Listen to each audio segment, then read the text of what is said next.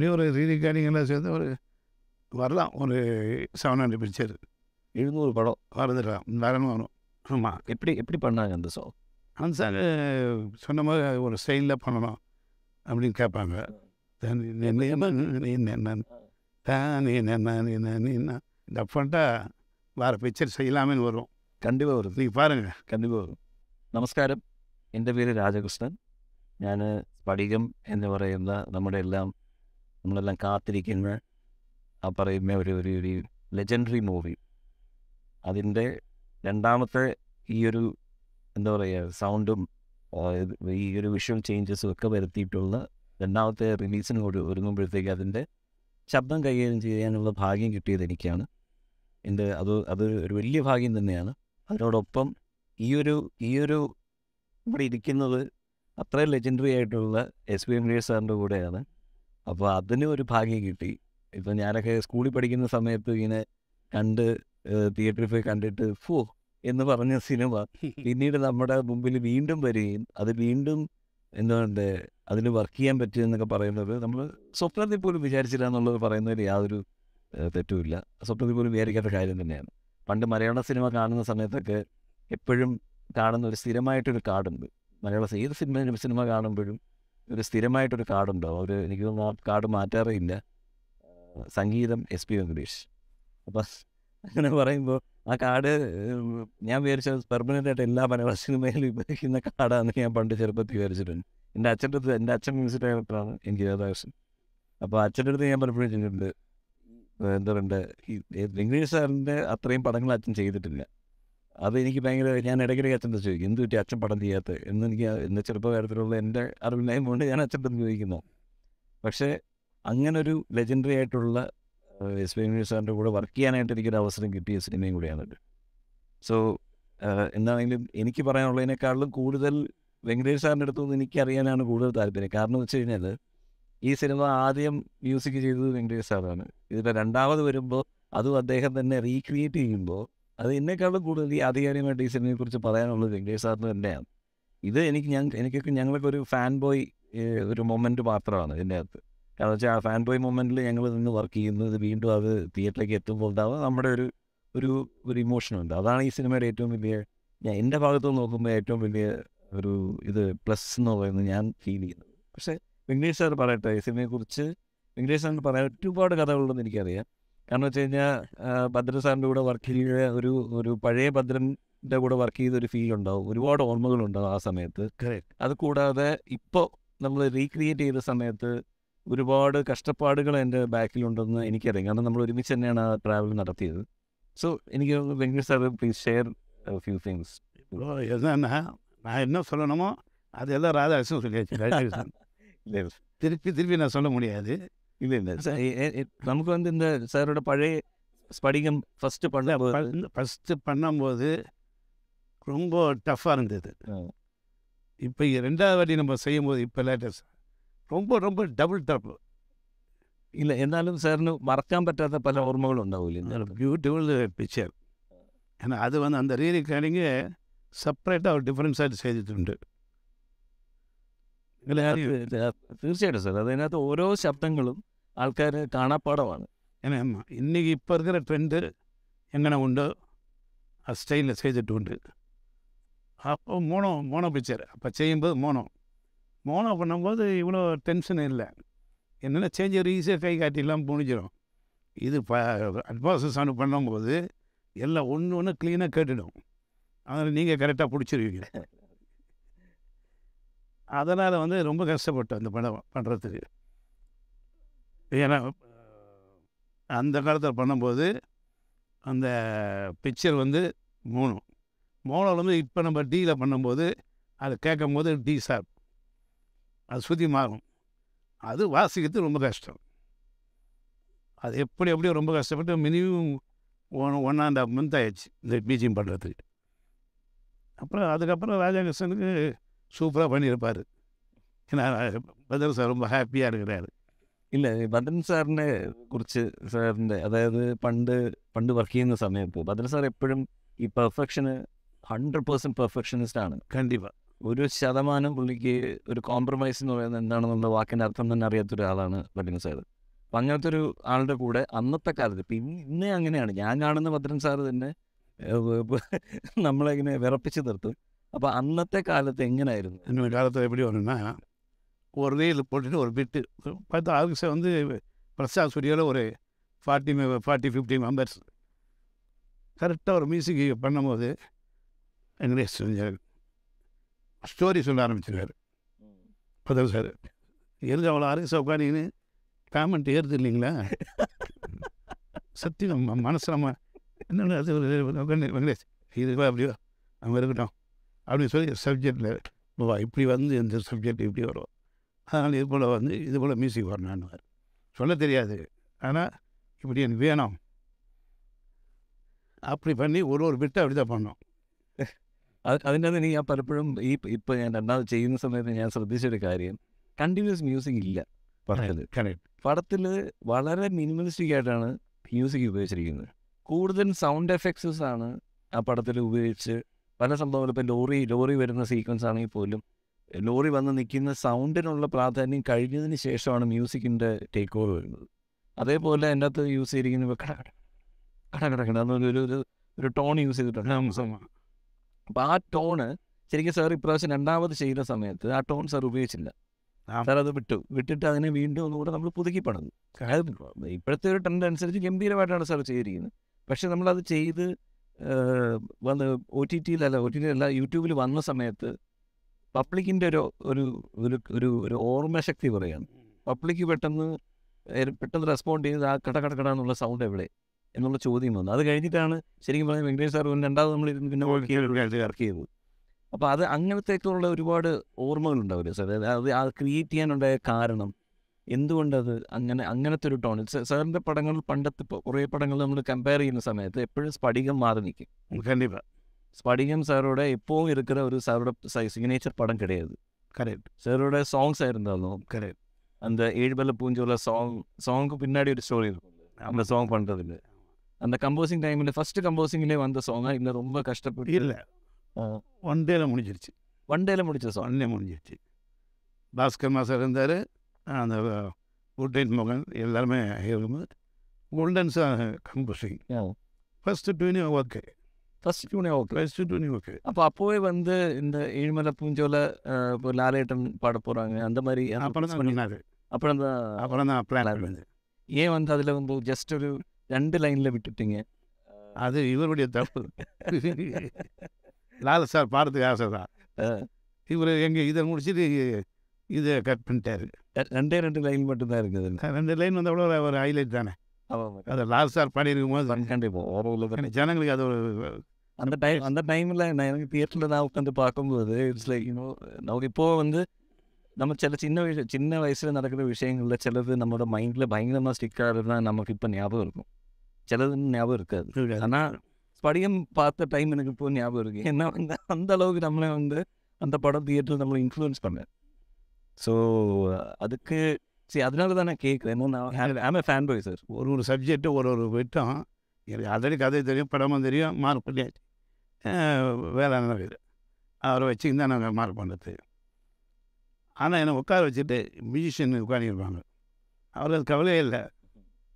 கரெக்டாக அது முடிஞ்சு பேசி முடிஞ்சவொடனே ஒரு ஒரு பிட் எடுத்துகிட்டு பேக்கப் அவ்வளோதான் அவ்வளோதான் மத்தியானம் இந்த காலத்தில் இப்போ இப்போ வந்து பாடும்போது எல்லாரும் யார் பாடினாலும் ஓட்டோ டியூன் மெலோடைன் லைக்கின்ஸ் எல்லாமே இருக்குது அந்த காலத்தில் அது எதுவும் இல்லை இல்லை இல்லை. அந்த காலத்தில் லைக் லைவாக எல்லாரும் വാസിக்கிறாங்க ஸோ എല്ലാവരും വന്ന് അങ്ങനെ തന്നെ പാടണം സോ അങ്ങനത്തെ ഒരു സിറ്റുവേഷൻസിൽ സാർ വർക്ക് ചെയ്തിട്ടുള്ള ഒരാളാണ് അല്ലേ கண்டிப்பாக അപ്പം അ- അന്നത്തെ അന്നത്തെ രീതികൾ വെച്ച് നോക്കുമ്പോഴത്തേക്ക് ഇന്ന് കുറച്ച് കൂടുതൽ കോംപ്ലിക്കേറ്റഡ് ആയിട്ടുണ്ട് കാര്യങ്ങൾ അല്ലേ கண்டிப்பாக ரொம்ப கஷ்டப்பட்டேன் അപ്പോൾ അപ്പോൾ ഈ ഈ- ഈ കം ഈ കമ്പോസിങ് സമയത്ത് ഇപ്പോൾ സാർ അന്ന് എടുത്ത സ്ട്രെയിന് അത്രയും സ്ട്രെയിൻ ഉണ്ടായിരുന്നു ഇപ്പോൾ രണ്ടാമത് നമ്മൾ ചെയ്യുന്നത് இது ஜாஸ்தி ஸ்ட்ரெயின் ஆகி போச்சு அது அது எவ்வளோ பெட்டராக இருந்தது அது ஒரு நாளில் முடிச்சு லைவ் அப்படியே வந்துடும் இல்லைங்களா நாம் அவர் கரெக்ஷன் கூட ஈஸியாக பண்ணிடலாம் இது வந்து கம்ப்யூட்டர் பண்ணும்போது ஒரு சின்ன பிட்டு கூட மாறிச்சுன்னா கூட டைம் சேஞ்ச் ஆகிடும் ഇപ്പോൾ ഇപ്പോൾ ഇപ്പോൾ ഞാൻ ഞാൻ നമ്മൾ അന്ന് ഡിസ്കസ് ചെയ്തിട്ടുണ്ടായിരുന്നു ഇപ്പം ആ, ശരി ആ, മറ്റേ സിൽക്ക് സ്മിത ആൻഡ് ലാലേട്ടൻ്റെ ഒരു ഒരു നൈറ്റ് സീക്വൻസ് ஆமாம் அவர் സംസാ പേ- பேசிட்டு இருக்கிற இடத்துல ஒரு ஃப்ளூட் பீட் போயிட்டு இருக்கும் ஆமாம் ஆனால் அந்த ஃப்ளூட் നമ്മൾ മിക്സിംഗ് ടൈമിൽ നമ്മൾ ഇപ്പോൾ സാർ பட் எனக்கு ആ ஃப்ளூட் பிட்டு செப்பரேட்டு வா வாசிச்சு கொடுத்தீங்க ஆமா. ஸோ எப்படி நீங்கள் அதை ஹேண்டில் பண்ணீங்க ஏன்னா சென்டர் ட்ராக்கில் ஆல்ரெடி பழைய ஃப்ளூட் வாசிச்சது இருக்குது ஆனால் புது ஃப்ளூட்டு நீங்கள் அடியில் வாசிச்சிருக்கீங்க ஆமாம் ஆனால் அது பழைய ஃப்ளூட்டு கிளாஷ் ஆகாமல் ரொம்ப பியூட்டிஃபுல்லாக வாசிச்சு கொடுத்துட்டீங்க அது அது எப்படி நீங்கள் அது அது அதுக்கு ஒரு ஐடியா பண்ணி ஃபஸ்ட்டு மேனுவலில் கிளிக்கு ஓ எப்படின்னு இதுக்கு ஒரே டைமிங் ஏழு மலை பூஜை வேலை அப்படி வரும் டக் டக் டக் டக் டக்குன்னு வந்தேன் அப்போ அதுலேயே டக் டக் டக் டக் டக் டக் அப்படி கிளிக் அட்ஜஸ்ட் பண்ணிட்டோம் கிளிக்கை வந்து மேனேஜ் பண்ணிட்டீங்க. மேனேஜ் பண்ணிவிட்டு அதுக்கப்புறம் வாசி வச்சேன். அந்த காலத்தில் கிளிக் ஒன்றும் கிடையாது. சும்மா. வாசிக்கிறது கையில் தானே? கிளிக்கு கிளிக்கு கை தான். கை கை காட்டுறது தான் கிளிக்கு கொஞ்சம் வேரியேஷன் இருக்கும் ஆனால் நாங்கள் சித்திரா பாடும்போது க்ளீனாக பாடிடுச்சு. யாரும் தெரியும் ஆனால் யாருக்கும் தெரியாது. ചിത്രേച്ചി ഇപ്പൊ രണ്ടാമത് ചിത്രേച്ചി പാടുമ്പോൾ എങ്ങനെയുണ്ടായിരുന്നു സാറിന്റെ சூப்பராக இருக்குது இப்போ ஒரு பிரச்சனையும் கிடையாது ஒன்றும் பிரச்சனை கிடையாது பழ- பழைய சித்ரா சேச்சி அப்படியே இருக்கு அப்படியே இருக்குது சார் ஒரு ஆச்சரியமாக இருக்குது அந்த மாதிரி சொன்னாங்க சார் நான் இவ்வளோ வருஷம் ஆச்சு இப்போ பாடணுமா இல்லைம்மா நீங்கள் பாடுங்கம்மா நீங்கள் பாடினா தான் நல்லாயிருக்கும் நம்ம வேறு ஒரு ஐடியாலாம் பண்ணியிருந்தோம் கடைசியில் வந்து சித்ரா பண்ண தான் நல்லாயிருக்குன்னு சரி, சித்ரா பாடியாச்சு அப்புறம் லால் சார் வந்து முன்ன விட பெட்டராக பாடிக்கிறாரு ஆமா ஆமாங்க கண்டிப்பா நான் கேள்வி கேட்டேன். கேட்டிங்களா? செம்மையா இருக்கு இது எவ்வளோ பெட்டரு? சூப்பரா இருந்தது. ஒரு பத்து டேக் எடுத்தோம். அவர் ஒன்றும் ஃபீல் பண்ணல. பத்து டேக்கும் நல்லா இருந்தது ஆக்சுவலி எடுக்கலாம் சார் எடுக்கலாம் சார். நான் இருந்தது. அப்போ கொடிமோ நீங்கள் இருக்காரு அவர் ரொம்ப க்ளோஸாக வந்து நல்ல கோஆப்ரேஷன் ஆனால் இது வந்து நம்மளுக்கு ஒரு பெரிய பேர் வரும். இல்லை சார் அது வரணும். ஏன்னா இப்போ பத்ரன் சார் இதில் எடுத்திருக்கிற ஒரு ஒரு ஹார்ட் ஒர்க் இருக்குது சார். நான் பார்த்துட்டு இருக்கேன். நம்ம வந்து ஃபஸ்ட்டு டைமில் நம்ம இது பண்ண முடியுமா? அப்படின்னு நம்ம நம்ம எல்லாரும் சேர்ந்து தான் டிஸ்கஸ் பண்ணோம் நம்ம எல்லாரும் இருந்தது அந்த ஏவிஎம் ஸ்டுடியோவில் சாரோட சாரோட தியேட்டரில் தான் உட்காந்து நம்ம பிளான் பண்ணுறது அந்த பிளானிங் வந்து பண்ணும்போது சத்தியமாக சொல்கிறேன் இந்த அளவுக்கு நமக்கு அதை கொண்டு வர முடியும்னு எனக்கும் கான்ஃபிடென்ஸ் எந்த அளவுக்கு இருக்குன்னு தெரியல. இதெல்லாம் ட்ரை தான். ஆமாம் இது முன்னாடி பண்ணது கிடையாது இல்லை. நம்ம இதுக்கு முன்னாடி டெய்லி இது இது கிடையாது இல்லை. பண்ணிட்டு பண்ணிட்டு இருக்கிறது வந்து புது படங்க. புது படம் பண்ணும்போது ஜஸ்ட் நீட் டு நம்ம வந்து ஃப்ரெஷ்ஷாக பண்ணுறது தானே. ஒன்றும் வந்து நம்ம வந்து பழசை மெயின்டைன் பண்ணுறதுக்கான ஒரு பிரச்சனையும் இல்லை. இல்லை இல்லை. ஸ்ட்ரைட்டாக நம்ம புதுசாக நம்ம க்ரியேட் பண்ணி போயிட்டே இருக்கலாம். ஆமாம் ஆனால் இது வரும்போது ஆல்ரெடி பண்ணி வச்சிருக்க டயலாக் இருக்குது மியூசிக் இருக்குது அது மிக்ஸ் ட்ராக் இது எல்லாமே சேர்ந்து கலந்து இருக்குது அதுலேருந்து எப்படி இது கொண்டு வர்றது? சத்தியமாக சொல்கிறேன் ஒரு டெஸ்ட்டு டெஸ்ட் மாதிரி தான் முன்னாடி ஃபஸ்ட்டு ஸ்டெப்பு கால் எடுத்து வைக்கும்போது இட்ஸ் a பேபி ஸ்டெப் இப்போ வந்து ரொம்ப ஹாப்பியாக இருக்காங்க சார் ஏன்னா இது இந்த அளவுக்கு அச்சீவ் பண்ண முடிஞ்சது. பெரிய விஷயம் உங்களுக்கு ரொம்ப கஷ்டம். எனக்கு ரொம்ப கஷ்டமாக இருந்தது நம்ம அவர் அவரை பேசி முடிச்ச உடனே நீங்கள் உங்களால் தான் சாங்கில் கணக்கு பண்ணது. தெரியுமே. எனக்கு என்னன்னா சரி நம்ம வந்து எல்லாமே பக்கா பண்ணிட்டு சாங் மட்டும் மோனம் இருந்தால் எப்படி இருக்கும் சார் கேட்டு நீங்கள் சொன்னோன்னே அது சொல்லி முதலே சொல்லியிருந்தீங்கன்னா பத்தா சாரை கொஞ்சம் அமௌண்ட் ஜாஸ்தி கேட்டிருப்பேன் நீங்கள் மேலே அவங்க அப்படி சும்மா இதை டச் பண்ணுங்க நீங்கள் அப்புறம் கடைசியில் பார்த்தா புது சாங் எடுத்தாச்சு. ஆமாம் புது சாங் தான் சார் அது. அல்ல இல்லைன்னா சி அது என்னன்னு வச்சுக்கோங்க சார் அந்த சாங் அந்த மாதிரி- புதுசாக க்ரியேட் பண்ணலன்னா நான் என்னோட பாயிண்ட் அதுதான். இது மட்டும் சாங் மட்டும் ரொம்ப பழசாக இருக்கு இருக்கிறதும் நம்மள பாக்கி எல்லாம் பயங்கரமாயிட்டு பயங்கர ஃப்ரெஷ் ஆகிட்டு இது வந்து சாங் மட்டும் அப்படியே கீழே போயிடும். தியேட்டர் எக்ஸ்பீரியன்ஸ் வந்து ரொம்ப அடிப்படும் சார் இது. ஸோ அதனால தான் அது அந்த அந்த ஐடியா நம்ம கொண்டு வந்தது. பட் ஆனால் அந்த ஐடியா எனக்கு பயங்கரமாக ஹாப்பி அபவுட் இட் புதுசாக வந்ததை உங்களுக்கு எல்லாமே புதுசாக என்ன பண்ணலாம் இல்லைங்களா ஸோ இதில் இருக்கிற பழைய டயலாக்ஸ் மட்டும்தான் பழசு. ஆனால் எப்படி அழகாக கட் பண்ணியிருக்கிறீங்க? சார் அது எப்படி எப்படி சார்? டைலாக் முதல்ல நீங்கள் டைலாக் மேலே மியூசிக் வந்து நினச்சி அது இப்போ பார்த்தா ஒன்லி டைலாக் மட்டும் பக்கமாக இருக்குங்களா.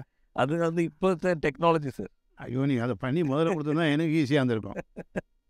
அது எவ்வளோ நாள் உட்காந்து தெரியும்? என்னோட என்னோட அசிஸ்டண்ட் ஒரு பையன் தான் உட்காந்து ஒன்று ஒன்றா ஒரு ஒரு டைலாக் உட்காந்து க்ளீன் பண்ணது. பையன் கஷ்டம் சார் இல்லை ஆ அதெல்லாம் ரொம்ப கஷ்டம் சார் ரொம்ப கஷ்டம் உங்கள் கோஆப்ரேஷன் தான் ரொம்ப இதில் நம்ம செகண்ட் தான் இல்லை இல்லை ரொம்ப கஷ்டப்பட்டு தான் பண்ணேன் சார் நம்ம பண்ணிட்டோம் நீங்கள் கட் பண்ணி கட் பண்ணி வாய்ஸ் போயிடுச்சுன்னா அவ்வளோதானே ஆல்டர்னேட்டிவ் கிடையாது அப்போ அங்கே எல்லாருமே உட்காந்து ரைட்டர் உட்காந்து பாஸ்கர் மாஸ்டர் இந்த இந்த படம் வந்துட்டு நார்மலி இப்போ பத்ர சாரோட எத்தனை படம் பண்ணியிருக்கீங்க சார் ஒரே படம் தான் ஒரே படம் தான் அது எப்படி பத்ரன் சார் உங்ககிட்ட வந்தாங்க? ஏதாவது அதுக்கு ஏதாவது இருக்கலாம் நாங்கள் அப்போ அடிக்கடிக்கு மீட் பண்ணிக்குவோம். ஓ. தம்பிங்கண்ண சார் வீட்டை பார்ப்போம். அப்போ பார்த்து டென்னிஸ் எல்லாம் பேசுவாங்க. வெங்கடேஷ் ஒரு படம் கொடுங்க அப்படின்னு. ஓஹோ நான் கூட சொன்னேன் சார் உங்கள் கூட ஒரு படம் வரதுக்கு எனக்கு இஷ்டம். அப்படின்னு நான் பேசுவேன். சடன்லி தான் இது நடந்தது. ஆனால் one of the best movie ஆயிடுச்சு. பெஸ்ட்டு பெஸ்ட் ஒர்க் ஆயிடுச்சு. சார் ரொம்ப ஹாப்பி சாகர் காடிங்க எனக்கு ரொம்ப பிரச்சனை இல்லை. காடிங்கில் தான் அவருக்கு நம்மளுக்கு ஒரு பயங்கர டென்ஷன் அது முடியிற வரைக்கும் நம்மளுக்கு என்ன பண்ணுறதுலான்னு ஒரு டென்ஷன் இப்போ இப்போ ஒரு ஸ்திரம் ஃபார்மேட் ஒன்று இருக்கும்ல ஒரு அந்த டைமில் ஒரு ஃபார்முலா இருக்கும். இப்படி பண்ணால் அது செம்மையாக இருக்கும் அப்படின்னு சீக்வன்ஸ் வைஸ் ஒரு ஃபார்முலா சார் ஃபாலோ பண்ணியிருப்பாங்க அந்த ஃபார்முலா ஃபுல்லாக இந்த படத்தில் மாற்றிருக்கீங்க கம்பெனியை மாற்றிட்டேன் கம்ப்ளீட்டாக மாற்றிட்டேன் அதுக்கு ஒரு ஸ்டோரி இருக்கும்ல அதுக்கு வந்து எப்படி இப்போ இறக்குழந்தைகள் நீங்கள் சொன்னீங்க அவர் உட்காந்து பேசிட்டு இருப்பாங்கன்னு. ஸோ அந்த மாதிரி இப்போ ஒரு ஃபைட் சீக்வன்ஸில் வந்து நீங்கள் ஒரு வயலின் மட்டும் யூஸ் பண்ணியிருக்கீங்க ஆமாம் மீதி எந்த டோன்ஸும் ரிமூவ் பண்ணிட்டு ஒரு வயலின் மட்டும் நீங்கள் ப்ளே பண்ணியிருக்கீங்க அதுக்கு என்ன அது என்ன இன்ஸ்பிரேஷன் அதை ஏன் அப்படி அப்படி பிளான் பண்ண? நார்மலி உங்களோட பழைய பழைய படங்கள் நிறைய படங்கள் எடுத்து நம்ம ரெஃபரன்ஸை பார்க்கும்போது அந்த மாதிரி இல்லை. உங்களோட நீங்கள் வந்து வயல் ஹெவி வயலின் ஸ்ட்ரிங் அரேஞ்ச்மெண்ட்ஸ் எல்லாமே இருக்கும் ஒரு வயல் மட்டும் யூஸ் பண்ணி ஒரு ஃபைட் சீக்வன்ஸ் ஃபுல்லாக பண்ணியிருக்க மாட்டேன். ஆமாம் ஸோ அது ஏன் வாட் இஸ் இன்ஸ்பிரேஷன் இப்படி பண்ண- இப்படி பண்ணால் நல்லாயிருக்கும் பஞ்சிங் செவ்னா கேட்கும் ஃப்ளூட்டும் ஃபுல்லாக ஈஸியாக கேட்கும். அப்படி ஒரு ஐடியா பண்ணுது. சோலோ வயலின் அப்போ அவருக்கு ரொம்ப இஷ்டப்பட்டு. ஓகே. ஸோ அந்த மாதிரி தான். அப்படி அந்த மாதிரி தான் எப்போ ஒரு ரீல் முடியறதுக்கு ஒரு வரை ஒரு நாலாயிரம். ஒரு ரீ முடிக்கிறதே நல்லா ஆமாம் அது எங்களால் இல்லை. இவர் டிஸ்கஸ் பண்ண வைப்பார். ஓகே. பத்ரன் சார் வந்து இதை பாருங்க இப்படி வந்து சப்ஜெக்ட் என்னென்ன மாற்ற இல்லை உள்ள சித்திரான போய் இதை ஒன்று சொல்லிட்டு ஒரு மின்னுட்டு அந்த அம்மா ஃபுல்லாக ஸ்டோரி சொல்லிடுவார். நாங்கள் இங்கே உட்காந்து இருப்போம் என்ன டேக் எடுக்கலான்னு பார்த்தா அவர் உள்ள கதை சொல்லிவிட்டு அவர் மினிமம் ஒரு ஆஃப் அன் ஹவர் சரி நான் இந்த கேள்வி நான் வந்து பதினஞ்சு சார்கிட்ட கேட்டிருக்கு. இது வந்து ஒரு ஒரு சின்ன ஒர்க்காக இருந்தால் கூட அவர் அந்த ஸ்டோரி பற்றி சொல்லி வந்துட்டு இப்போ அந்த பாட்டு பாடும்போது என்கிட்ட என்கிட்ட சொன்னாங்க இந்த கதை வந்து சார் என்கிட்ட வந்து பேசிட்டு இருக்கும்போது சொன்னாங்க. சித்ராவுக்கு ஃபுல் கதை வந்து எக்ஸ்பிளைன் பண்ணி கொடுத்துட்டு தான் அவரை பாட வச்சது. ஃபஸ்ட்டு பாடும்போது அந்த எக்ஸ்பிரஷன் சித்ராவுக்கு வரல. அப்படின்னு சொன்னேன். ஆனால் இந்த கதை சொன்னதுக்கு அப்புறம் ஃபஸ்ட்டு டேக்கில் ஓகே ஆயிடுச்சு. அது வந்து அது என்னென்னா கதை சொல்லும்போது சித்ராஜிக்கு அந்த கேரக்டர் என்னன்னு புரிஞ்சுக்கிட்டேன். கண்டிப்பாக ஸோ அதனால தான் அவர் அந்த டைம் எடுக்கிறாங்கன்னு என்கிட்ட சொன்ன மாதிரி இருக்கலாம். பட் ஆனால் அது அது உங்ககிட்டே அப்படி தான் இருந்திருக்கும்ல. என்கிட்டயும் அப்படி தான் ஆனால் அவர் பண்ணது வந்து நல்ல ஃப்ரெண்ட்ஷிப் அதெல்லாம் அவர் ஒன்லி அந்த ஒர்க்கில் தான் அவர் கொஞ்சம் ஸ்ட்ரிக்டாக இருப்பார். கண்டிப்பாக அப்படி தானே இருக்கும். கேப்டன் ஆஃப் த ஷிப் ரொம்ப ஹாப்பி இல்லைன்னா அப்படியே யோசிப்பார். இன்னொன்று என்ன ப- பண்ணி வரலாம் அதனால் நான் என்ன பண்ணுவேன்? பிக்சர் கண்டுட்டு இம்மீடியட்டாக நான் என்ன பண்ணுவேன்? கம்போஸ் பண்ணும்போது ரெண்டு பண்ணிடுவேன். எப்படி ஒரு ஆல்டர்னேட்டிவ் கேட்பான்னு எனக்கு தெரியும். அதனால் வந்து ஒரு மியூசிக் கம்ப்ளீட்டாக எழுதி அசன் எழுதி எழுதி பாரு அப்புறம் இன்னொரு ரெண்டாவது மியூசிக் நான் என்ன பண்ணுவேன்? ரெண்டாவது மியூசிக் ஃபஸ்ட்டு போடுவேன். ஓ. மியூசிக் இது கொஞ்சம் பெட்டராக இருக்குது அப்படின்னு அப்புறம் ஃபஸ்ட்டு கம்போசிங் ஒரிஜினல் பண்ணது இருக்கும் அதனால் அது பாரு அது இன்னொன்று பண்ணிக்கணும் அதை போடணும். இது சூப்பர் அப்படின்றாரு. இப்படி ஏறி ஏறி காரியம் முடிச்சேன் அப்போ உங்களுக்கு வந்து அவரோட கேரக்டர் புரிஞ்சிருச்சு ஃபஸ்ட்டு ரீல்லே புரிஞ்சிருச்சு. இருக்கு சரி இவரை இது ஏதோ விரும்புகிறாரு நம்ம அந்த ரூட்டில் போய் கரெக்டாக இருக்கும். அப்படின்னு எல்லா ரீலும் ஓகே ஆயிடுச்சு. இப்போ மார்க் பண்ணுவோம் இல்லை முன்னாடி இப்போ இப்போ இப்போ இப்போத்த மியூசிக் டைரக்ஷன் மாதிரி கிடையாது. பண்டு வந்து அந்த பிரிண்டில் வந்து மார்க் போட்டு இந்த இடத்துல மியூசிக் ஆரம்பிக்கணும் இந்த இடத்துல நிற்கணும் இந்த இடத்துல சேஞ்ச் ஓவர் ஆகணும் அப்படின்னு முன்னாடியே பிளான் பண்ணுவீங்க. ஆமாம் முன்னாடி பண்ணாங்க அதாவது மூவி ஹாலில் உட்காந்து மூவிகளில் உட்காந்து டைரக்டரும் நீங்களும் உட்காந்து அவங்க மார்க் போட்டுருவாங்க. எடிட்டர் வந்து மார்க் போட்டு அவங்க அஸ்டாண்டை கொடுத்தா ஃபுல்லாக மார்க் சரி அப்படி அப்படி பண்ணது பண்ணுறது பெட்டரா இல்லை இப்போ இந்த காலத்தில் பண்ணுற மாதிரி ஃபுல்லாக மியூசிக் பண்ணுறது பெட்டரா இப்போ என்னென்னா அதோட ஃபுல்லாக பண்ண முடியாதுமா பண்ணலாம். அதுக்கேற்ற தேட்டர் இல்லை. ஆ. கம்ப்ளீட்டாக எல்லாரும் உட்கார வச்சுன்னு நம்ம ரெக்கார்டிங் பண்ணுறதுக்கு. தேட்டர் இல்லை. இப்போ அந்த மாதிரி விஷயம் நடக்கலை. நடக்கலை. இப்போ நம்ம ஒன்லி கீபோர்ட் இதெல்லாம் வந்து சாம்பிள் எல்லாம் பண்ணிவிட்டு அதுக்கப்புறம் one by one by miss பண்ணுறது ஆனால் உண்மையாக மொத்தமாக உட்காந்து பண்ணால் என்ன சூப்பராக இருக்கும்? கரெக்ட் பிளானிங் இருக்கும். நம்ம அப்பலாம் வந்து பெரிய சார் அது கம்ப்ளீட்டாக பண்ணு வந்திருக்கேன் அது வரைக்கும் இது இவர் தீவன். நான் உட்காந்துருக்கேன் சார். நான் சார் கூட அந்த காக்கப்போயில் இல்லை. சார் பண்ண படத்துக்கு நான் ஒரு ஒரு படம் வந்து சார் கூட பேக்ரவுண்ட் ஸ்கோர் ரெக்கார்டிங் உட்காந்துருக்கேன் ரெக்கார்டிங் ரெக்கார்டிஸ்ட் உட்காந்துருக்கேன் ஆனால் அவரோட படம். இப்போ வந்து க கலர் மாறி போச்சு. காலம் மாறி போச்சு. ஸ்டைல் மாறி போச்சு. இப்போ சவுண்டிங் இருந்தால் தான் படமே.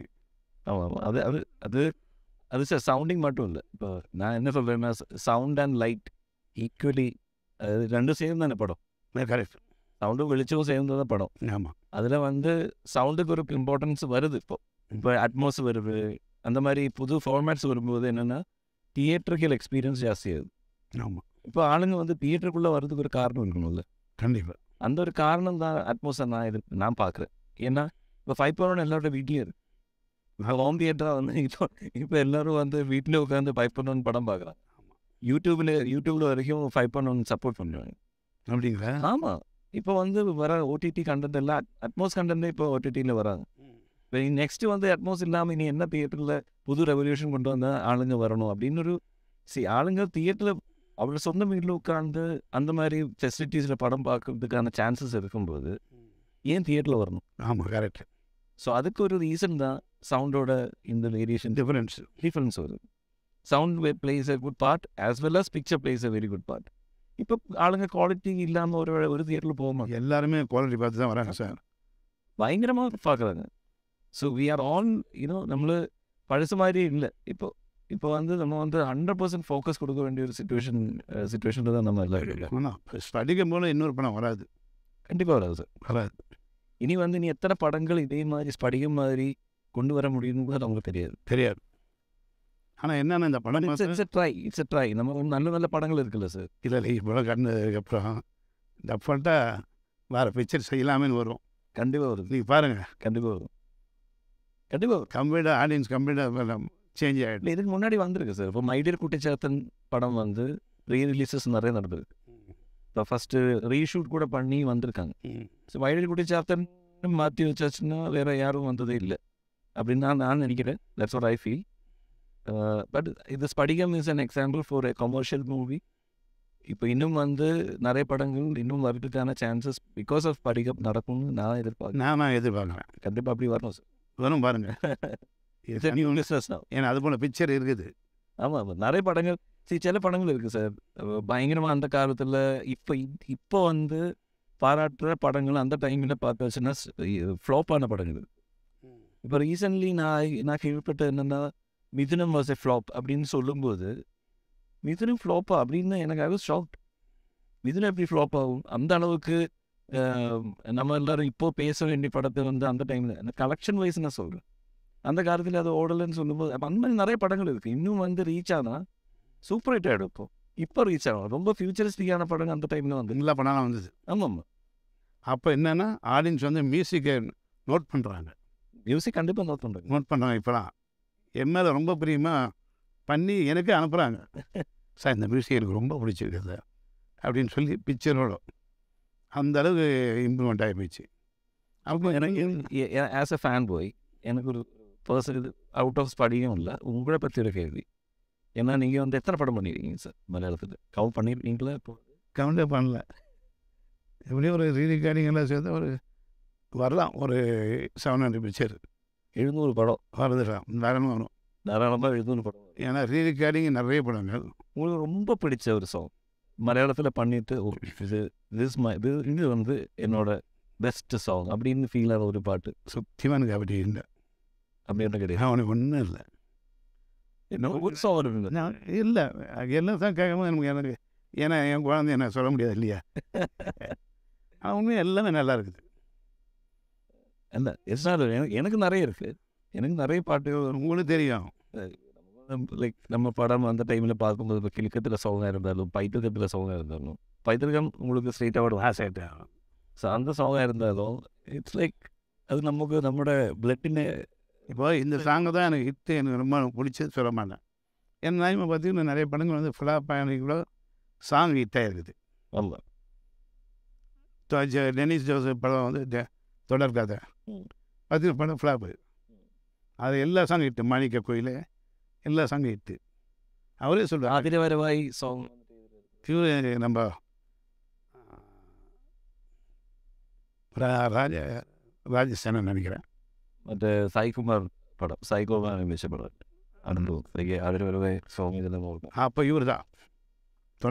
ഭയങ്കര ഭയങ്കര ഇഷ്ടപ്പെട്ട ഒരു പാട്ടാണ് അത്. സാറിന് ഓർമ്മയുണ്ടോ ട്യൂൺ പാടാൻ പറ്റുമോ?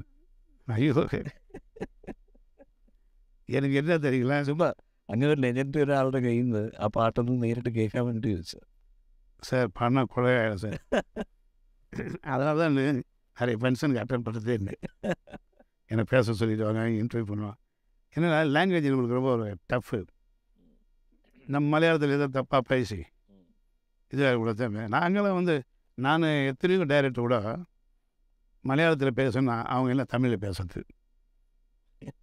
ஏன் நான் சார் மலையாளத்தில் பேசணும் நான் கொஞ்சம் பேசுறது ஈஸியாக இருக்கும். இல்லை எங்களுக்கு தமிழ் கற்றுக்குறோம் அதுபோல் நிறைய படங்கள் என்னோட தமிழ் ஓகே உங்கள் கரெக்டாக பேசுகிறீங்களே இங்கே வந்து எவ்வளோ நாள் ஆச்சு? இருபத்தஞ்சி இருபத்தாறு வருஷம் ஆ அப்புறம் நான் நல்லா பேசுகிறீங்க நானும் அது தப்பாக பேசுவேன் ஏன்னா ஒரு ஒரு லாங்குவேஜ் இப்போ அப்படியே ஃபோனில் வந்து பெங்காலிக்காரன் போட்டு ஃபோன் பேசியிருப்பான். உடனே முடிஞ்சவொடனே தமிழ்காரன் பேசுனா தரமாட்டோம் நான் கன்ஃபியூஷன் ஆகிடும் எனக்கு என்னதுன்னா ரொம்ப படம் நான் பண்ணது வந்து மலையாளம் தான் ரொம்ப പടം പണ്ടത് മലയാളം அந்த ஹையஸ்ட்டு ரேஞ்சு ஆனால் ஒரு பாட்டு படம் முடிஞ்சிருச்சுன்னா அந்த பாட்டை திருப்பி நான் கேட்க மாட்டேன் கேசட் வீடு கொடுப்பாங்க அதையெல்லாம் எல்லோரும் வாங்கிடுவாங்க கொடுத்துருவேன் என் கேசட் இப்போ நான் என் வீடு சில சாங் கேட்குறேன் என் பாட்டு இந்த நான் பணம் வருது அப்படின்னு வருது ஆனால் அங்கே நான் நல்ல டியூனில் வந்துட்டு உண்டு ஒரு படம் சொல்ல முடியாது இப்போ கூட நம்ம பத்ரல் சார் கூட ஒரே படம் தான் பண்ணியிருக்கிறேன் அது பெரிய ஹிட் ஆகி போய் இப்போ அது ரெண்டாவது உயிர் வருது.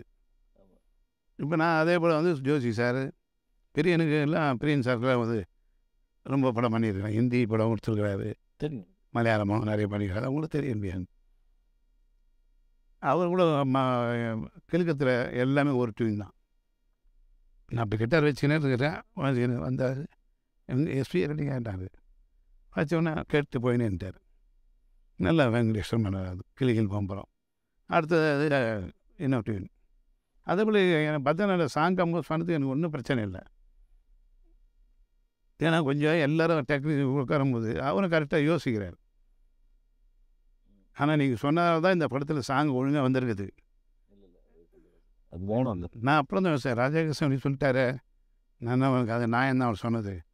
இது பேசாமல் போயிட்டுமே நம்ம. ரொம்ப கஷ்டப்பட்டேன். இது வந்து ப நம்ம ஒரு பணம் நிறைய நம்ம வரணும் அதுக்கோசம் இல்லை. குவாலிட்டி இது ஒரு சேஞ்ச் இல்லையா? இது இங்கே சேஞ்ச் செய்து ஆடியன்ஸ் எங்கே என்ன போயிடு.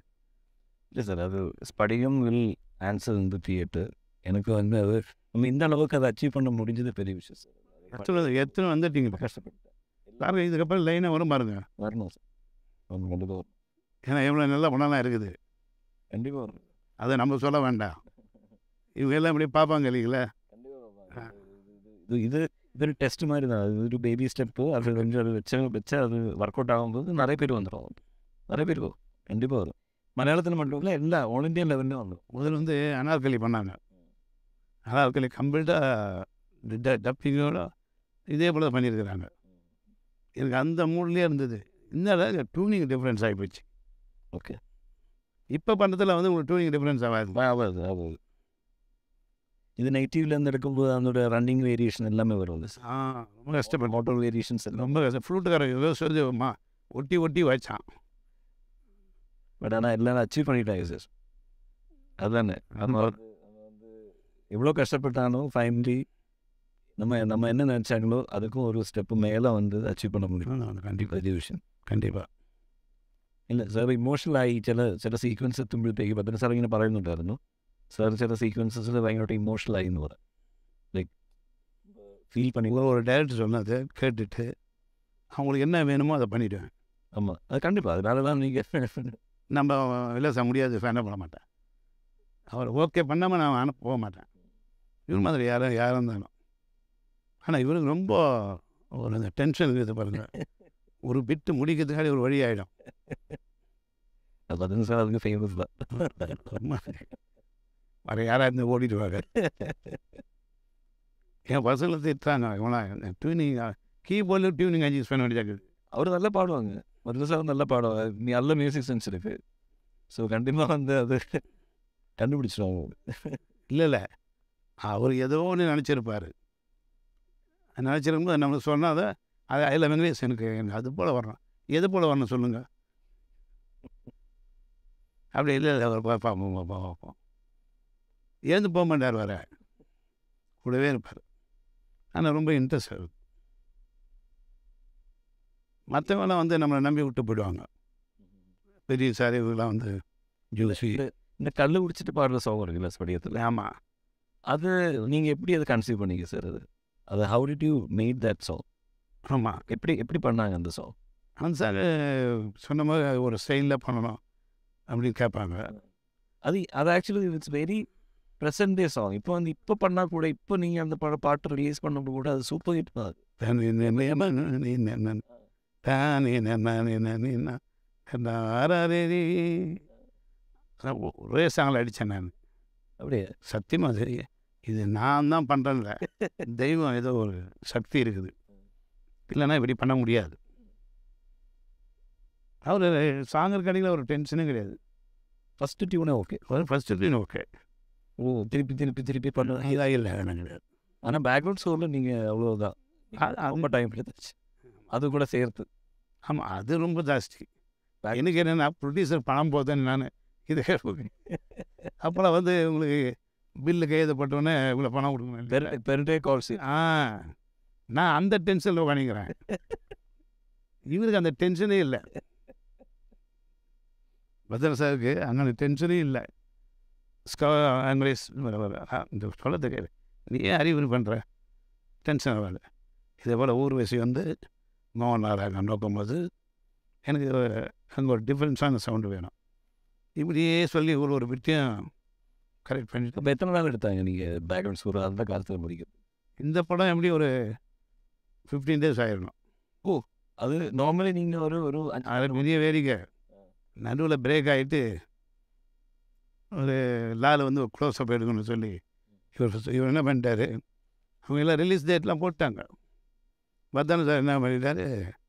லால் வந்து இது க்ளோஸை பார்த்து எடுத்துகிட்டு டம்மி டூ போட்டு பி இந்த ஆ, லாரி வந்து ஜீப் வந்து தண்ணி அதை பண்ண சொன்னார். அப்போ அவங்கள ஆ, போய் கேட்டுட்டு வந்துட்டாங்க. ராஜன் இவங்களாம் வந்தது அவர் மூல ஒரு க்ளோஸ்அப் எடுத்துங்க இவர் என்ன பண்ண மறுநாள் காலையில் யாரும் சொல்லாமல் கோயம்புத்தூர் பிளேட்டில் போயிட்டார். நான் எங்கள் ரீல் காடிங்க பார்த்தா என்ன காணுமே? இல்லை வந்துடும் வந்துடும் வந்துடும் அப்புறம் பார்த்தா ஈவினிங் ஃப்ளைட்டில் வந்து வந்துட்டார். அங்கே போய் சாரை கேட்டுக்கிறாரு மோகனால் சாரை இல்லை அப்படின்னா ஒரு மூணு மாதம் வெயிட் பண்ணுவேன்னு அதுக்கு ஒன்றும் இல்லை டோன்ட் வெரி வந்துட்டார் இங்கே வந்துட்டார் வந்துட்டு வெங்கடேஷ் நம்ம திரும்பி பண்ணிக்கலாம். அந்த ஒரு சாட்டுங்க காம்ப்ரமைஸே பண்ணல அவர். இவங்க ப்ரொடியூசர் என்ன அதை ரிலீஸ் டேட்டு போட்டாச்சு?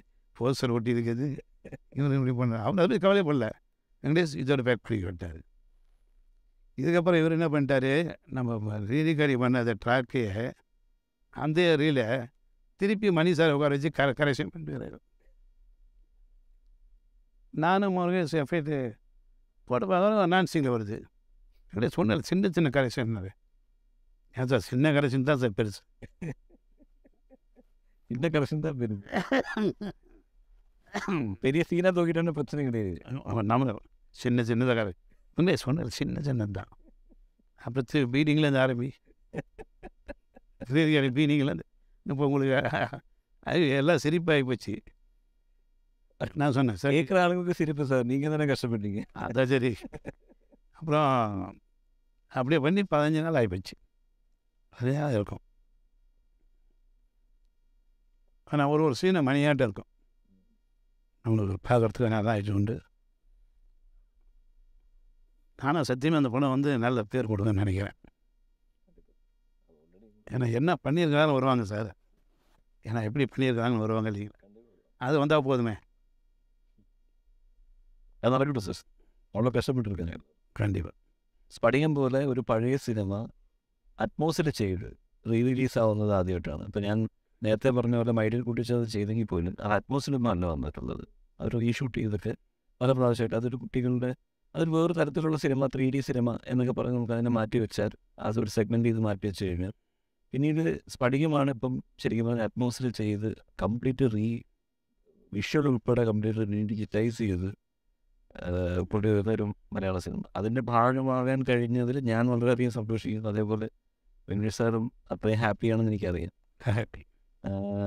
നമുക്ക് ഇങ്ങനെ ഒരു പടത്തിൽ ഒരുമിച്ച് വർക്ക് ചെയ്യാൻ കഴിഞ്ഞാൽ ഞാൻ എന്റെ ഭാഗ്യമായിട്ട് കരുതുന്നത് ഇത്രയും നം- ഇത്രയും സമയം സാറിന്റെ കൂടെ ഇരുന്ന് സംസാരിക്കാൻ പറ്റിയതും ഈ പറയുന്ന പോലെ ഈ പഴയ സ്ഫടികത്തിനെ കുറിച്ചുള്ള കുറച്ച് കഥകൾ കേൾക്കാൻ പറ്റിയതും എന്താ പറയുക ഒരു ഒരു എനിക്ക് as a fan boy thank you so much എനിക്ക് ഉറപ്പാണ് ഇത് കാണുന്നത്. എന്റെ ഫസ്റ്റ് ടൈമാണ് കേട്ടോ ഞാൻ അങ്ങോട്ട് സാധാരണ ഇതിൽ നമ്മൾ ഇങ്ങോട്ട് ചോദ്യം ചോദിക്കുന്ന സ്ഥലത്ത് പോയിരിക്കുക എന്നുള്ള സ്ഥലത്ത് ഞാൻ ഇതുവരെ ഞാൻ ആദ്യമായിട്ടാണ് ഒരാളെ ഒരാളോട് അങ്ങോട്ട് ചോദ്യം ചോദിച്ചിട്ടുള്ളൊരു ഒരു പരിപാടിയിൽ അറ്റൻഡ് ചെയ്തത് ഇപ്പം നമ്മളിത് ഒരുമിച്ചൊരു ഒരു ഷെയറിങ് പോലെയാണ്. ഇപ്പം ഞാൻ ഈ പടത്തിലെ ടെക്നീഷ്യനാണ് പക്ഷെ എന്നാൽ പോലും ആ ചോദ്യങ്ങൾ ചോദിച്ചത് എസ് പി വെങ്കടേഷ് എന്ന് പറയുന്ന ഒരു ലെജൻഡറി കമ്പോസറിന്റെ അടുത്താണെന്നുള്ളതിൽ ഞാൻ അധികം ഭയങ്കരമായി സന്തോഷിക്കുന്നു.